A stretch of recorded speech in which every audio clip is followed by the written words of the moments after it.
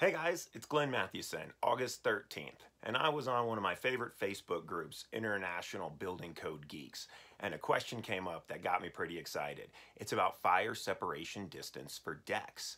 And, you know, I'm pretty involved with deck code, and this question comes up a lot, and it's fun to answer because it's tough to answer. So I decided I'd take a cut out of my course, The Existing Structure. It's an on-demand course available at buildingcodecollege.com.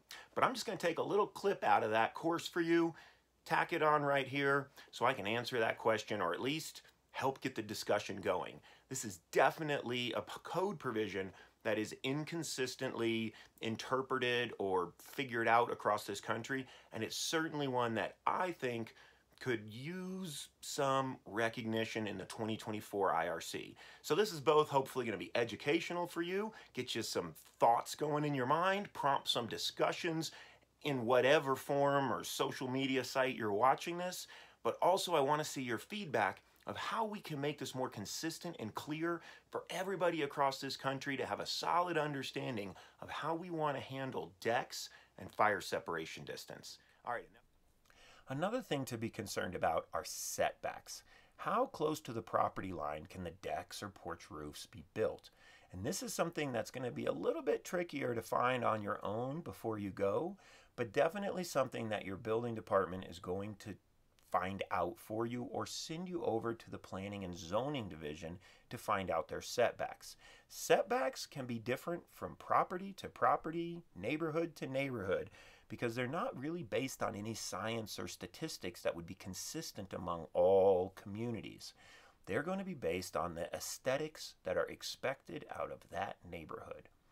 When you get to building codes and you get to more of the science and statistics regulating construction, what the building code refers to is not setbacks, but the term fire separation distance because the building code is not concerned with the aesthetics of the neighborhood and how the density of the homes and how close they are together for the feel and comfort and property values of the owners. They're concerned with the fire from one house wiping out the neighboring houses and then wiping out the whole neighborhood or city. This is literally where building codes began in this country and in other countries. In fact, as a vintage codebook collector, I've got to show you this vintage 1808 newspaper that I have. This is near the birth of our country. And in this paper, you have the declarations of Thomas Jefferson, the third U.S. president, stating that no wooden house shall be placed within 24 feet of a brick or stone house. Indeed, at the very birth of this country, we had a few things we were regulating in construction, but one of them is something we call fire separation distance today. So today is a different day than the 1800s. And how do we measure fire separation distance in modern building codes? We measure both properties to a, declared line. And what this allows is each property owner to have the freedom of construction up from their building measured to that center line. Now, this isn't really designed for decks. Even though decks can indeed catch fire and spread that fire to the house, as you see in this example, decks are not at all addressed in fire separation distance in the IRC currently. And this is something we may see in future years become recognized and addressed in the IRC. Let's go to this table in Chapter 3. It's Table 302.1, and this is the table that explains the fire protection for fire separation distances. You can see the different features listed down the left. Walls. Well, last I looked, your common decks don't have walls, so this doesn't speak well to decks. Projections.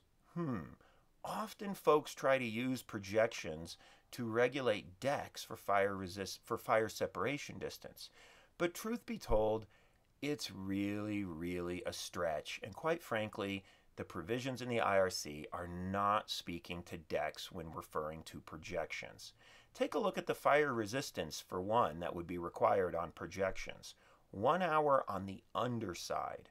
Now the picture I just showed you a minute ago was a ground level deck and that fire occurred on the surface of the deck. So wouldn't really be applicable to decks that may be two stories up in the air or down at ground level.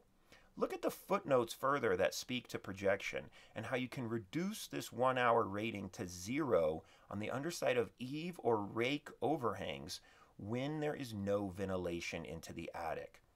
So, again, decks, ventilation into attics, this is really not speaking to decks. What I do want to say here that is sort of the red flag for deck builders and for building authorities is five feet. Once you're beyond five feet, there's no need to worry yourself anymore because in the IRC, beyond five feet, there are no fire protection requirements. So if we look at this deck, is it a wall? Is it a projection? No.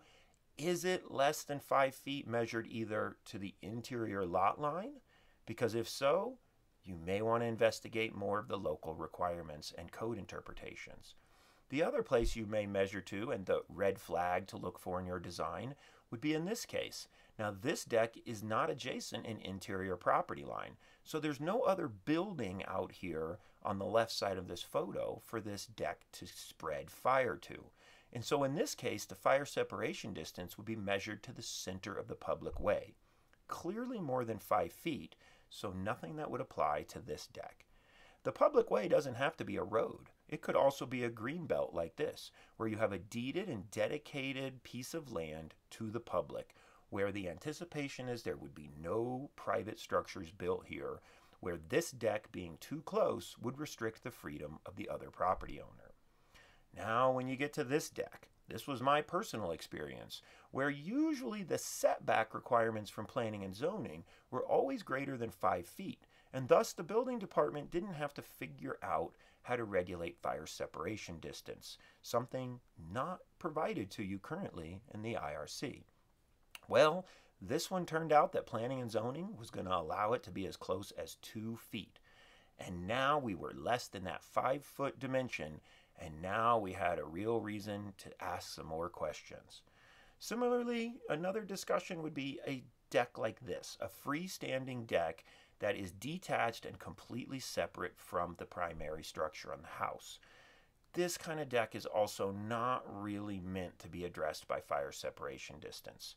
So if it's detached or attached, but it's less than five feet from the interior property line or from the center of a public way, the guidance to you is simply talk to your building division and discuss with them how they interpret and apply fire separation distance requirements for decks.